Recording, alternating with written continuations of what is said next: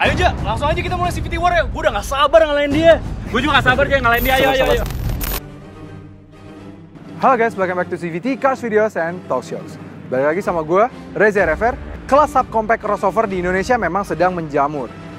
Dimulai oleh Kia Sonet di Indonesia, lalu diikuti oleh Nissan Magnite, dan yang terakhir yang sangat fenomenal, si kembar Toyota Race dan juga Daihatsu Rocky. Tapi sebenarnya, di balik kehegemoni dari subcompact crossover, ada sebuah kelas yang memang masih sangat dicintai di Indonesia, yaitu adalah kelas low SUV ini.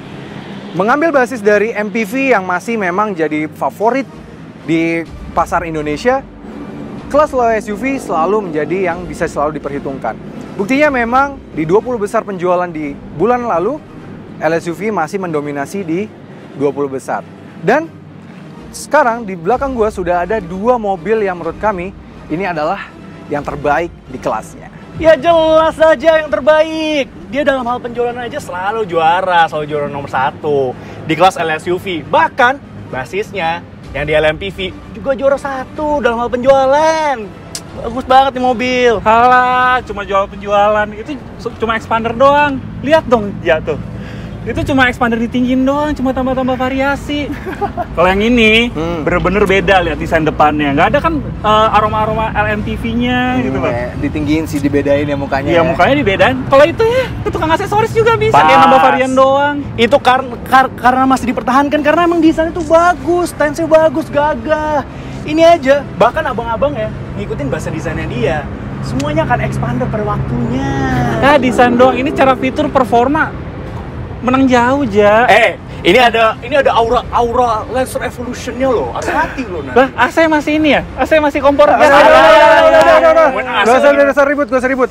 Oke, ini kebetulan nih ada kedua mobil ini yang menurut kami adalah LSUV terbaik di kelasnya dan kebetulan juga memang kelas LSUV masih tetap yang favorit di pasar Indonesia. Langsung aja kita buat CVT War ya, setuju? Setuju. Setuju banget. Oke, ini dia CVT War Chapter 14 antara Expander Cross melawan Suzuki XL7.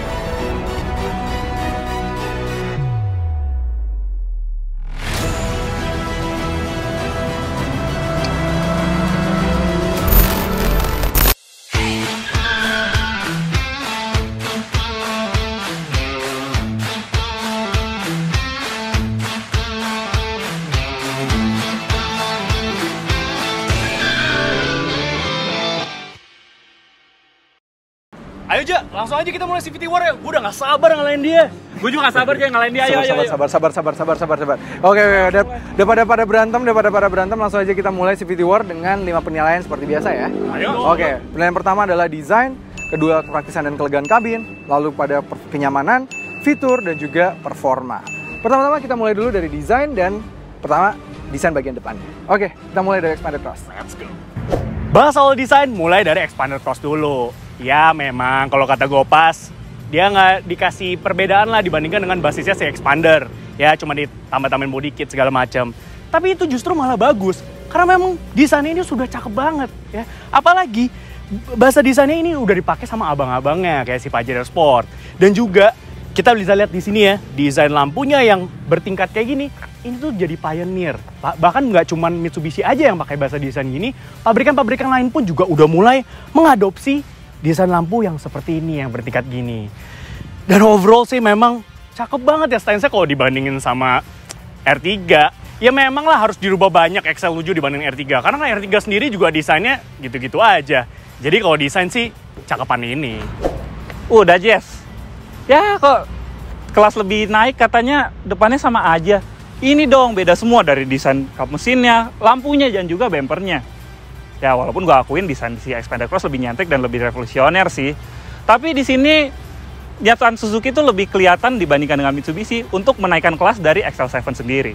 Desain depan, meski memang XL7 lebih niat untuk merombak desainnya dari R3 menjadi XL7, namun memang desain expander yang sudah bagus dari sananya memenangkan penilaian desain depan dengan nilai 8 melawan 7,5. Selanjutnya desain samping. Ya, kalau untuk desain samping, dari depan sampai pilar A sini, dia kelihatan SUV-nya. Jadi dia pakai aksen di sini yang mendatangkan kalau dia tuh SUV dari Suzuki. Tapi dari pilar ke belakang, harus gua akui Expander Cross lebih kelihatan SUV-nya sih. Sama seperti di depan, tadi seperti kata Gopas, ya memang Expander Cross ini tidak jauh berbeda ya dibandingkan dengan basisnya si Expander yang notabene adalah LMPV. Tapi memang karena bentuk dan desain Expander sendiri itu sudah kekar, sudah menunjukkan sebuah karakter SUV. Maka dari itu hanya dengan penambahan-penambahan seperti ini, cladding-cladding hitam, over vendor, terus kemudian juga ada roof rail di sini, semakin membuat dia Expander Cross ini menjadi proper LSUV. Jadi kalau dibandingkan dengan XL7 yang cuman ya nggak beda jauh, apalagi dari sampingnya dengan basisnya si R3, ya jauh. Ini lebih maco. Pada desain samping, desain expander yang sudah lebih dulu lebih SUV dibanding R3 membuat expander cross lebih pantas disebut SUV dibanding XL7 sehingga lagi-lagi dari samping expander cross lah pemenangnya. Desain belakang dimulai dari expander cross. Lagi-lagi di bagian belakangnya ini, since basisnya expander udah gagah ya, udah bagus, jadi Mitsubishi tidak perlu membuat banyak perubahan terhadap si expander cross ini. Ini terlihat banget ya SUV-nya, gagahnya, kemudian kemudian aksen-aksen seperti piano black finishnya ini menambah kesan crossover looknya lagi. Kemudian juga di sini dikasih cladding hitam ya, terus kemudian juga ada body kit under spoiler di sini yang membuat dia lebih SUV kesannya. Tapi ada satu catatan dari kita, yaitu karena tadi di samping kan gue sempat mention ada over fender gitu ya, di kanan dan kirinya. Kalau kita ngintip di ke bawah, ini bannya jadi terasa tipis gitu ya. Kesannya mobil itu punya paha yang lebar, gede, pinggul yang gede, tapi kakinya kecil. Jadi kelihatan kelihatan agak kurang proporsional di belakang sini. Itu sih yang sangat disayangkan. Nah di XL7 ini desainnya lebih ini ya lebih proporsional ya. Jadi nggak ada tuh desain belakang yang cungkring-cungkring gitu. Sayang memang over fender yang berlebihan yang tidak dibarengi perlebaran dimensi dari ban membuat expander cross tampil kurang proporsional di belakang. Sehingga Suzuki XL7 pemenang desain belakang. Lanjut interior, di bagian interior meski secara pemilihan bahan material interior XL7 lebih baik, namun desain expander cross yang dibuat lebih premium harus diacungi jempol sehingga untuk interior, Expander Cross menjadi pemenangnya dengan nilai 8. Nah, pada penilaian desain dimenangkan oleh Expander Cross. Memang ya cukup tipis, tapi memang harus diakui Expander Cross memiliki desain yang lebih baik. Iya, judgement yang bagus dia. Emang bener. Ini lu lihat desainnya tuh stance-nya bener-bener SUV banget, maco. Bahkan abang-abangnya udah ngikutin bahasa desainnya dia. Coba lu, bener sih, coba bener sih. Ya harus gua akuin sih Ja, walaupun udah di desain hampir total ya. Hmm. Tapi memang desainnya Expander ini lebih revolusioner sih menurut gua dan lebih beda. Iya, benar sih. Banyak dan bahkan pabrikan lain mulai pakai adapt desain yang sama ya. Bener, apalagi lampu desain lampu DRL gini, lampu yang yang bertingkat. di bawah ya, udah mulai Bener. sekarang mulai ke sana. Sedangkan XL7 walaupun dirubah bener-bener tapi tetap aja memang ya kalah sih secara desain. Kasih lah, kasih lah. Desain ini selera warga masyarakat Indonesia. Kalau ini selera orang India. Yang penting beda. Yang penting beda. Beda-beda. Oke, sekarang skornya sementara adalah 1-0 untuk Expander Cross. ini ada satu kosong. Satu kosong. Oke. Satu. masih banyak ya Jess, masih empat penilaian Oke. lagi. Oke, berikutnya adalah kepraktisan dan kelegaan kabin. Langsung aja kita lihat. Pada penilaian berikutnya kami bagi menjadi dua, yaitu kepraktisan dan kelegaan kabin. Untuk pengetesan pertama yaitu kepraktisan dari kedua mobil ini, langsung aja kita mulai dari Expander Cross. Expander Cross meski memiliki dimensi yang lebih lebar, panjang, tinggi, namun tidak dapat memanfaatkan ruang kabinnya. Buktinya tiga baris tegak ia hanya mampu menampung satu koper saja. Baris tiga direbahkan kapasitasnya meningkat sehingga bisa menampung tambahan satu koper besar dan satu koper sedang. Lipat lagi baris dua, rata lantai semuanya, membuat kapasitasnya menjadi sangat luar biasa luas. XL7 di lain sisi, meski lebih kecil secara dimensi, ia lebih baik memanfaatkan space. Bayangkan saja, tiga baris tegak ia bisa menampung dua koper super besar ini. Wah kalau ini sih, SUV sekelas CX-9 dan Palisade aja kalah. Lipat baris tiga, kapasitasnya bertambah bisa menampung satu koper medium lagi. Di sini terlihat dimensi XL7 yang lebih pipih membuat salah satu koper besar harus dimiringkan, tidak bisa benar-benar rebah seperti di Expander Cross. Meski sisa bagasinya lebih panjang. Lipat baris dua rata lantai semua sehingga menghasilkan kapasitas bagasi yang lebih lega lagi dari Expander Cross. Untuk penilaian ini kami berikan kepada Suzuki XL7 dengan nilai 9 berbanding 8 pada Expander Cross. Berikutnya kelegaan kabin dimulai dari Expander Cross. Expander Cross tidak memiliki headrest pada bagian tengah, jadi akan membuat penumpang baris 2 tengah tidak nyaman. Tapi untuk shoulder room karena dia masih lebar, jadi untuk tiga orang diisi di sini masih sangat oke. Lanjut baris 3, di belakang sudah ada dua headrest untuk dua penumpang. Lebar shoulder room juga sangat bagus. Untuk leg room di posisi duduk begini baris kedua masih oke.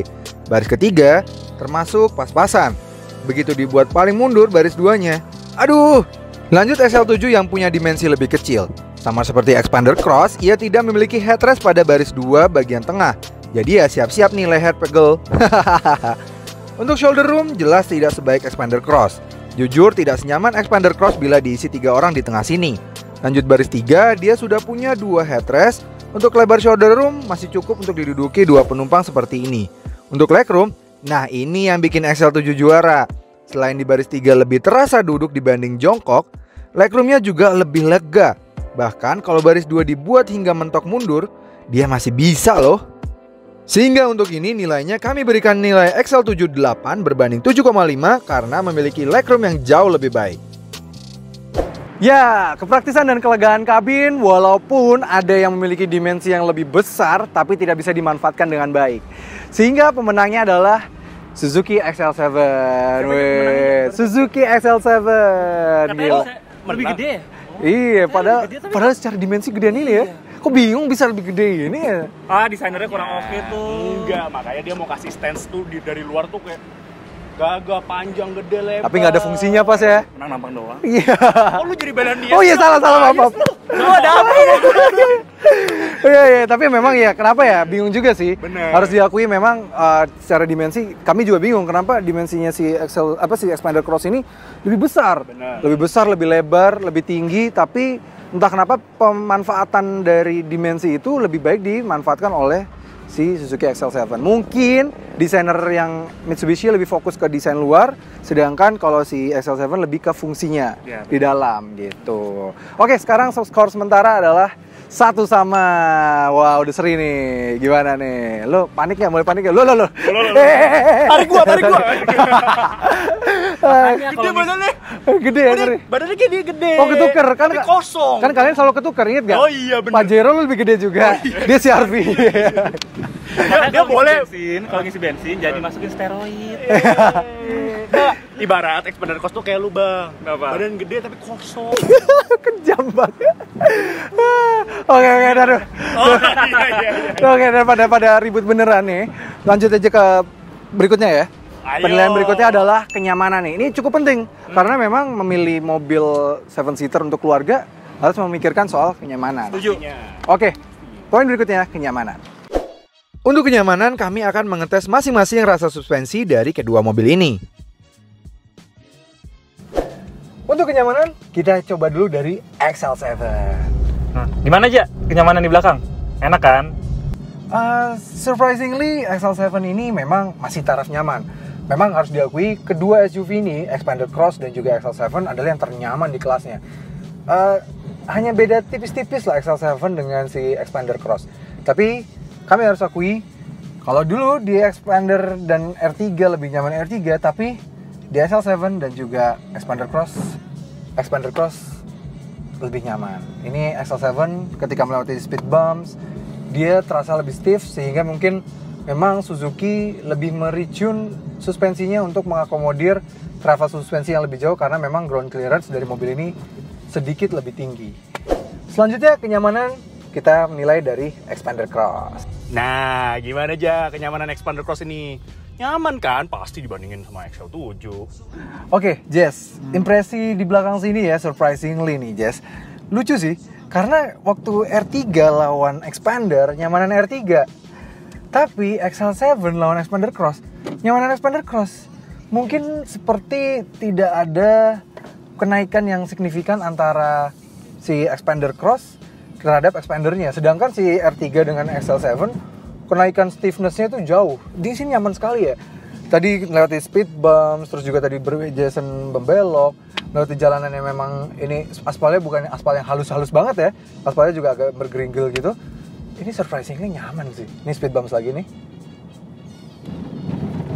ini lebih teredam dibandingkan dengan XL7. Bisa disimpulkan, Expander Cross yang sedikit lebih nyaman membuat Expander Cross lebih baik dalam penilaian kenyamanan ini. Oke, penilaian kenyamanan ini ada yang sedikit unik nih. Jadi pada kalau kalian kita refer ke CVT War 4 ya, 10 CVT War yang lalu, which is tentang low MPV. Di low MPV yang paling nyaman itu justru si R3, which is basisnya dari si SL7. Dia di situ yang paling nyaman. Di situ padahal ada expander dan Livina ya. Pasti kalian nyaman ya? Nah, kalah nyaman. Iya, R3 paling nyaman. Tapi ketika jadi LSUV malah lebih nyaman sih Expander Cross sehingga pada poin kenyamanan dimenangkan oleh Expander Cross. Iya. Eh, ini daripada bohong-bohong waktu, mendingan udahin aja kali ya. Udah dua. Masih menang ya? Wah, wah, wah, wah. Iya, lo kok kabur? Badannya gede. ya jelas lah. Tadi kan gue udah bilang kan tadi kayak ada aura-aura Evo-nya. Iya. Ya tapi suspensinya emang dibuat Iya. agak lebih stiff dibandingkan expander. Tapi- masih tetap lebih Nyaman. dibandingkan si XL7. Mungkin kayaknya lucunya eh, pas naik kenyamanannya gini, naik ke stiffness-nya si XL7 kejauhan. Nah. Si Expander Cross mungkin naiknya cuma segini Iya. gitu. Tapi ini ini masih tergolong nyaman sih. Nyaman sih. Nyaman. Ini kalau dari banding kedua ini nyaman. Gimana pas nih kan XL7 R3-nya nyaman kok malah XL7 jadi stiff gini. Itu dong jalu badan gue. Gak perlu, nggak perlu nyaman-nyaman daripada ntar ditinggal. Ya. Oke oke. Nggak, oke. nggak, tapi maksud gue bukan gitu. Kalau di sini memang dia kerasa aja effortnya untuk tuning itu lebih banyak. Tapi di sini karena dia ada travel yang lebih panjang, dia takut kalau misalnya ntar kerasa limbung. Oh. Jadi dibikin lebih stiff. alasan yang bagus ya. Yang bener sih, Iya valid, sih, valid, valid. Emang cuma- limbungnya sih. Ya. Iya, makanya gue akuin emang kerasa limbung kok udah udah. Nanti kita kita nanti akan kita buktikan di ride quality pada pengetesan performa ya. Mana yang bisa memanfaatkan uh, stiffness-nya dari suspensi ini supaya menjadi ride quality yang lebih baik. Nih pada itu nanti pada poin performa. Tapi sebelum itu kondisi sekarang adalah 2-1. ya, sekarang kondisi dimenangkan oleh Expander Cross. Apakah mampu XL7 membalikan keadaan? kita langsung bahas aja poin berikutnya yaitu adalah poin fitur. Untuk fitur seperti biasa kami bagi menjadi empat penilaian, yaitu fitur keselamatan, keamanan, entertainment, dan penunjang. Kita mulai dulu dari keselamatan. Oke, lanjut ke fitur keselamatan dari mobil ini. Ya, kalau dibandingkan dengan rivalnya CXL7, memang tidak superior ya. Mereka sama ya, mulai dari airbagnya ada dua, dia sudah dilengkapi dengan ABS, EBD, BA, traction control. Ya, jadi kalau untuk fitur safety sih nggak ada yang lebih sih dibandingkan XL7. Keduanya memiliki fitur keselamatan yang sama persis sehingga keduanya mendapatkan nilai yang sama yaitu 7,5. Berikutnya keamanan. Oke, untuk fitur keamanan dimulai dari Expander Cross dulu. Jadi ini dia kuncinya. Untuk mengakses mobil ini, ya dia sudah menggunakan keyless entry ya. Jadi tinggal tekan aja tombol yang ada di sini, di handle pintunya. Ya, dan dia sudah terbuka secara otomatis ketika kita membuka pintunya. Ketika kita menutup, dia juga sudah auto retract. Nah, akses ini bisa dari eh, pintu pengemudi, passenger depan, dan juga bagasi. Jadi kalau fitur keamanan sih keyless entry udah standar. Untuk fitur keamanan, dia sudah menggunakan keyless entry seperti di Expander Cross, tapi dia belum dilengkapi oleh retractable mirror kalau kita misalnya kunci nih, dia belum ngelipat sendiri. Tapi dia punya fitur keamanan yang jauh lebih baik dibandingkan Expander Cross. Yaitu kita bisa, misalnya kalau kita lagi sendirian, dia hanya membuka di pintu yang kita tap eh, pencetan untuk keyless entry-nya saja. Jadi jauh, itu jauh lebih nyam, aman ya. Dan juga untuk fitur itu bisa diatur melalui MID dari mobil ini.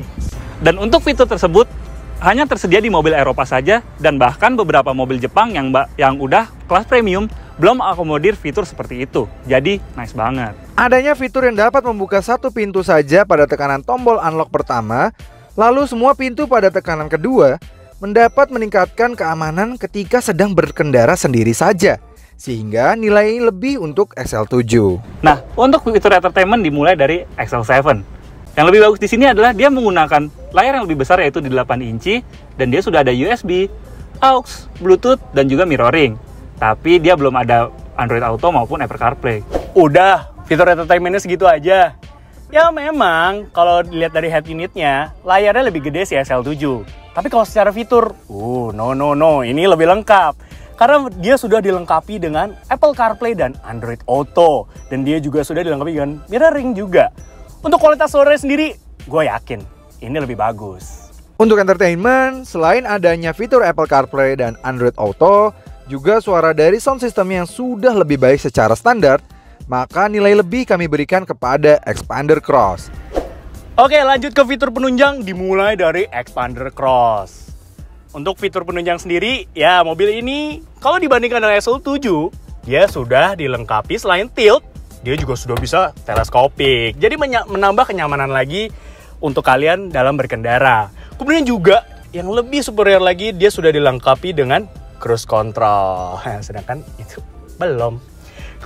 Ya, terus sisanya AC-nya masih puter-puter sih. Ya, mesti diakui sih kalau fitur penunjang udah aja ya sombongin fitur penunjang dari Expander Cross. Pertama gue mulai dulu ya. Dia sudah punya spion tengah yang ada di VR dan juga resolusinya bisa gue bilang itu lebih tinggi dari Alphard yang which is itu harganya sudah di atas 1 miliar. Nah, terus dia juga sudah mendapatkan MID yang paling high definition di kelasnya dan informasinya tuh banyak banget. Dan yang ketiga, dia sudah punya proper climate control yang satu-satunya di kelasnya. Terus dia juga sudah ada 12 volt socket yang proper ya, walaupun di expander juga ada di ketiga barisnya. Tapi masa baris kedua di sini aksesnya gimana itu? Oke oke oke. Terus dia juga sudah punya chiller di uh, cup holder depan dan bisa gue bilang kalau untuk fitur penunjang XL7 pemenangnya. Ya, sehingga fitur penunjang Suzuki XL7 lah pemenangnya dengan nilai 8,5 melawan 7,5. Oke, pada poin fitur ada yang unik nih. Memang sangat tipis sekali ya. Jadi pada keselamatan mereka kedua sama, terus keamanan menang XL7, entertainment menang apa expander cross. Tapi untuk penunjang lebih banyak fitur yang dimenangkan oleh si XL7.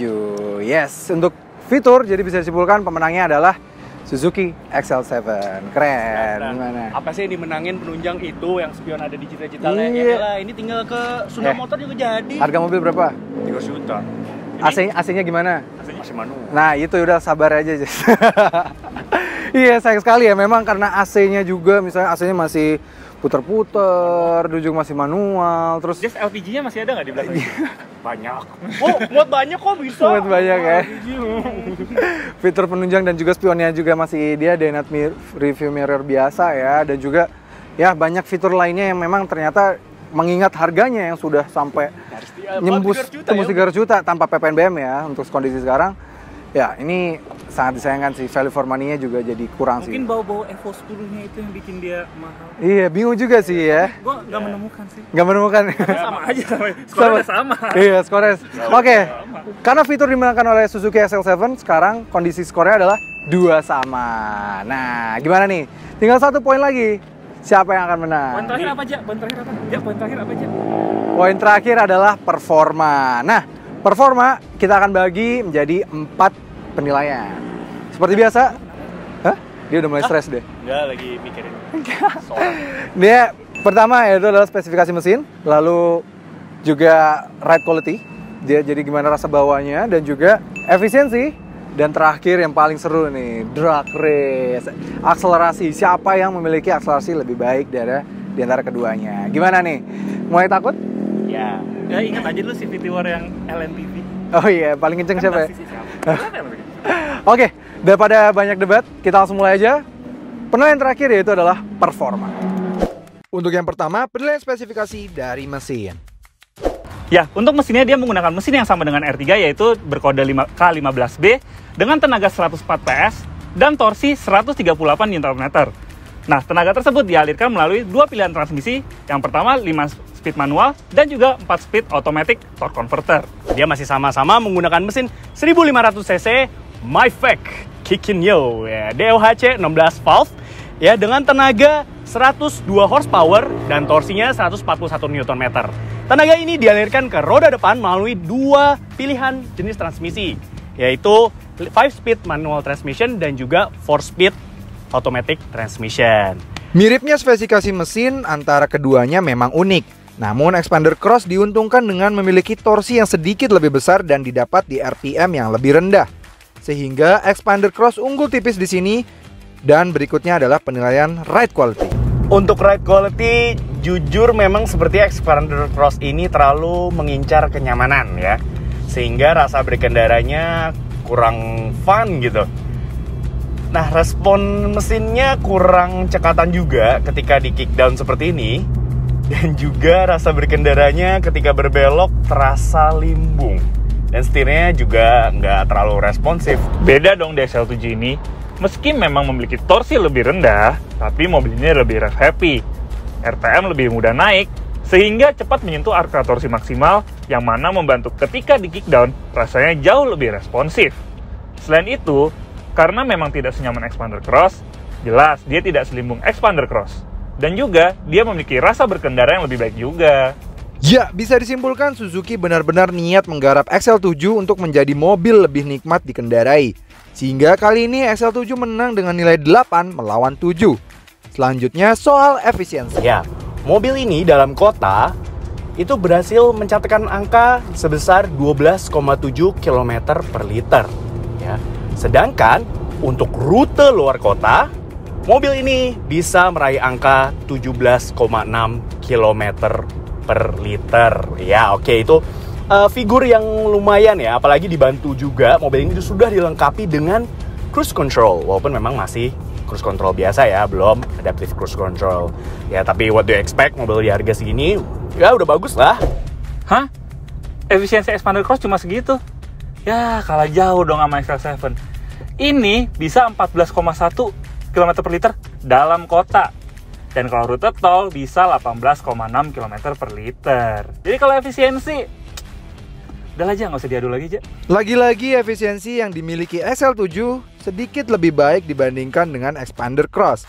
Maka XL7 menang dengan nilai 7,5 melawan 7. Nah, posisi sekarang Expander Cross sudah kalah. Tapi, apakah mampu mengembalikan keadaan? Kita lihat pada poin terakhir. Drag Race.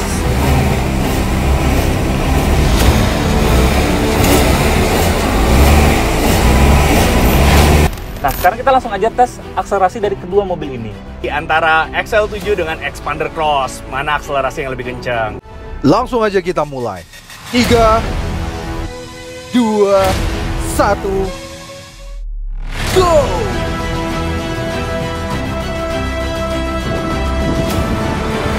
Ya, finish! Pemenangnya adalah Suzuki XL7 karena mampu menyelesaikan akselerasi 0 sampai 100 di 12,7 detik. Sedangkan Expander Cross di 13, Ya, penilaian performa ya kita bisa lihat tadi ya. Walaupun memang secara spesifikasi keduanya mirip tapi memang dimenangkan sedikit oleh Expander Cross karena memiliki torsi yang sedikit lebih besar. Tapi tiga belakang ya harus diakui pemenangnya adalah Suzuki XL7. Nah, sekarang jadi bisa disimpulkan bahwa pemenangnya adalah sabar sabar. Pemenangnya adalah Suzuki XL7 dengan poin 32. Oke, oke. Gue mesti akui sih. Memang kalau dibanding uh, harga dibandingkan dengan fitur dan kawan-kawannya itu memang lebih worth it dibeli XL7. Iya. Yeah. Overall ya. Tapi tetap gue gak mau kalah. Walaupun di CVT War ini gue kalah, tapi menurut gue Mitsubishi dan nama Expander itu selalu terpatri di masyarakat Indonesia. Iya. Yeah, Penjualannya angka nggak pernah bohong pas. Angka nggak pernah. Itu Expander doang kalau expander dipisah ya memang kalau di dalam penjualannya di angka penjualan itu data memang selalu digabung ya expander sama iya sih. Gimana pak lu pemenangnya nih? Nah kalau gue sih ya nggak heran lah kalau menang lah gitu loh. secara emang kan kalau orang Indonesia beli mobil apa? Value for money kan? Yeah. pasti utama. Nah value for money menurut gue ini dari fiturnya performanya. Yes. uh, kenyamanan mungkin kenyamanannya kalah tapi masih acceptable lah ya. Masih ya masih pantas dibeli lah gitu dan juga uh, desainnya itu jadi pembeda lah dibandingkan dengan kalau expander cross kan kelihatannya kayak dari gue bilang expander tinggiin yeah. nah kalau ini seperti di rework dan effortnya itu lebih kelihatan yeah. jadi ya uh, kelihatan beda lah gitu ya memang sih harus diakui kalau memang untuk kenyamanan bukannya XL7 jadi yang nggak nyaman ya yeah. uh, kenyamanan sebenarnya kalah sedikit banget karena memang keduanya ini adalah LSUV paling nyaman di kelasnya cuma memang uniknya XL7 ini oleh Suzuki di tune terlalu stiff, naik jauh sekali dibanding yang versi R3-nya. Sedangkan expander cross tidak terlalu jauh dibandingkan expander ya sehingga jadi kalau R3 lebih nyaman daripada expander, tapi kalau XL7 jadi lebih Nggak lebih nyaman daripada si lebih ini. stiff dibanding si expander cross. Tapi untuk urusan performa tidak ada yang berubah. Keduanya tetap Suzuki XL7 tetap yang lebih baik secara performa, efisiensi dan juga ride quality. Karena memang expander cross karena masih tetap dibuat lebih nyaman, dia ride untuk ride quality agak limbung Ada ya. Yes, tadi kerasa banget sih ketika kita bermanuver ya kalau lu rasain Iya. tadi.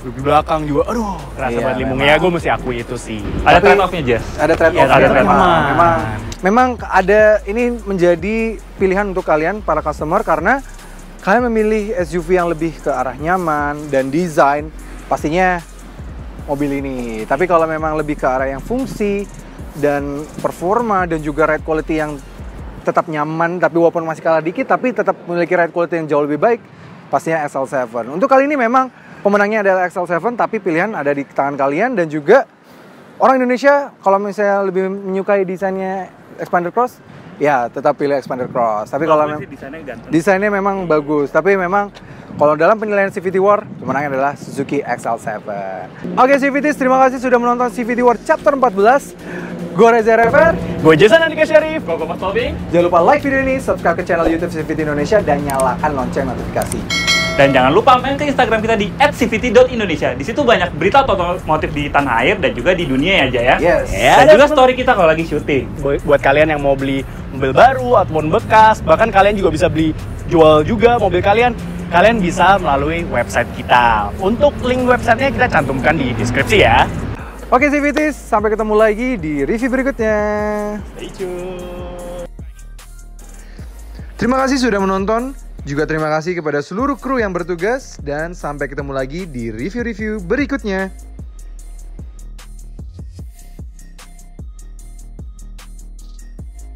Terima kasih CVT sudah menonton.